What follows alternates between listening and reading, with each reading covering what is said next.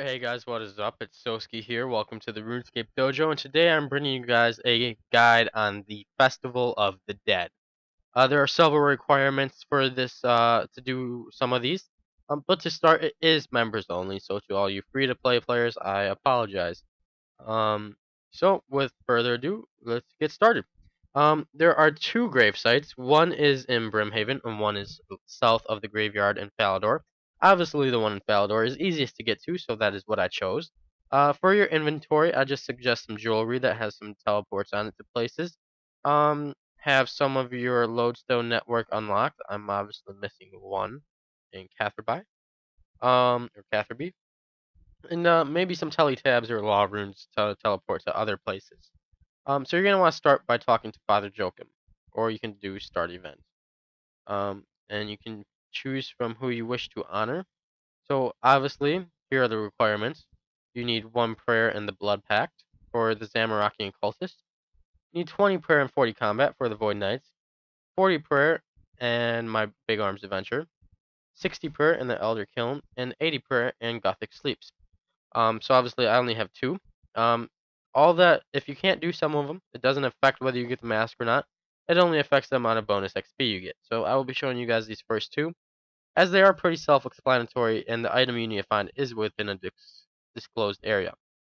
So what you want to do first is, you can talk to Father Joachim if you want, uh, for some dialogue, or you can simply take from the Crate of Flowers, and then you're going to go to talk to Father Joachim, and ask him for some clay. Oh, you can't ask him for clay yet. You got to do the conversation.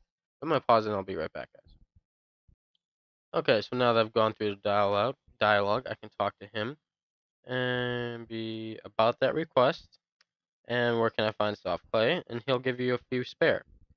And then you're going to click on the clay, and you're to mold it into a clay skull. A clay skull. and now you're going to use the flowers on the coffin. And you'll decorate the coffin. To go to small cut schemes. Cut scene. And now it says I need to find an object relating to the deceased. Now I chose the Zamorakian cultist. So we're going to want to go to the Lumbridge Catacombs. Uh, the Lumbridge Catacombs are directly west, and you just go down the catacomb entrance. I'm to pause the video now. I'm to find the item, which is probably towards the end, and I will show you guys where it is. Alright guys, so in every case, the item is just laying on the ground in the respective area that you need to go to.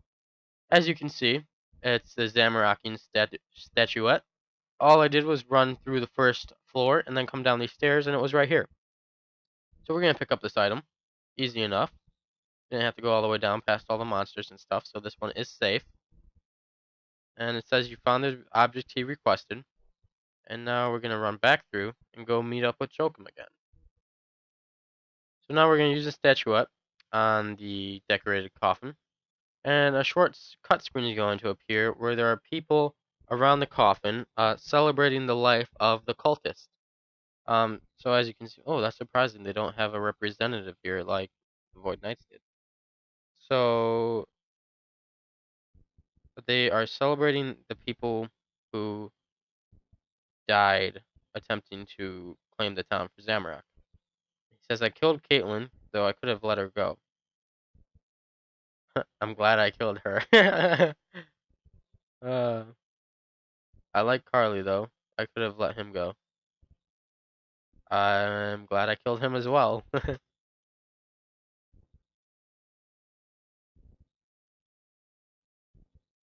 Alright. So, now that you have proceeded with the celebration and everything's disappeared, uh, he doesn't really know why everything disappears. And he ends the tradition in a festival manner by putting off fireworks. So as you can see here, the fireworks go off. Make some noise. And you have completed the first one. He gives you the mask for completing that. As you can see, for helping those who died in Lumbridge Catacombs, you receive 1000 double XP while you're training prayer. And you can use double XP, or I have 1000 double XP available in total. It says I've completed the task, and I can now wear my skull mask. Now we're going to start the second one. Once again, simply speak to him, choose the Void Knights, and I'll show you guys where this item is quickly as well. So I'm going to take the flowers.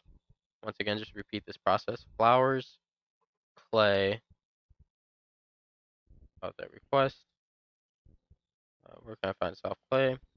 We'll give you some soft clay. Hey, what the fuck? What do you say about the soft clay? Oh, so I wonder if I need... I guess you have to go mine your own soft clay after the first one, uh, which is unfortunate. Alright, so I just bought my own soft clay. Now I'm going to form a clay skull. And we're going to head back to Lumbridge. So now that we're at Lumbridge, we're once again going to place the skulls on the coffin. We'll once again have a little cutscene. And now he will tell me to go find an item that was related to the deceased. So for the Void Knight one, we're going to go to Port Sarim, or you can use the spinner pouch uh, to get a direct teleport to the Void Knight outpost. And for those of you who don't know, um, well, the teleport, getting to the Void Knight outpost is pretty easy, but there are a lot of new players who may be watching this video. So I'm just going to show it. If not, you can just check the thumbnails below and fast forward the video um, to when I get on the island. But for those of you who don't you know, you can use the lodestone teleport and run east. And it's the second last dock here. And you click on Travel Squire. So now they're going to take you to the Void Knight outpost. You're going to get off the ship. And when you get off the ship, you're going to head to the south. Once again, these items are very easy to find. You should have no problem finding them for the other three. Just gave you the basic idea. Ran south, and on the little fucking blasted looking penis shape of an island right here, uh, you can pick up the Void Knight seal. Once you pick that up, we head back to Lumbridge once again by using the lodestone teleport or teletab. Alright, so I'm back at the coffin. Now we're going to use the seal on the coffin. And once again, there will be another cutscene. I'm going to skip through this one because I already saw this one. And there's actually a Void Knight there representing the Void Knight that passed away. And he's told to try celebrating his life. And as you can see, I'm going to finish up right here. Um, if you guys could comment, rate, and subscribe, and let me know how you like the video in the comments below, or even place the locations uh, of the other three so I can add them in the description below, that would be great. Um, a like helps, and uh, if you guys like the video and I helped you out, please subscribe. Uh, I do my best to bring you guys daily RuneScape videos, and also be the first one to show updates and make guides for them. Uh, remember, this guide is just almost an hour, two hours after, uh, so it may not be the best, uh, but I did try my best. So I hope that is alright enough for you guys. And once again, you can see I earn more bonus XP, uh, but I did not get any extra item. So you do get the mask after completing only one, which is cool. Uh, but in order to get the full amount of bonus XP, you have to do all five. So I hope you guys enjoyed this guide, and good luck on getting your per bonus XP and I will see you. Oh, if you want to see what all the what you can how you can use the per bonus XP, check the description below. All right, guys, peace out. See you later. Oh, and by the way, my 99 cooking parties tonight. If anybody would like to attend, simply join the friend chat Soesky, uh, which is my new account. I'll be in there, and uh, we'll be having a fun little party tonight. All right, peace out, guys.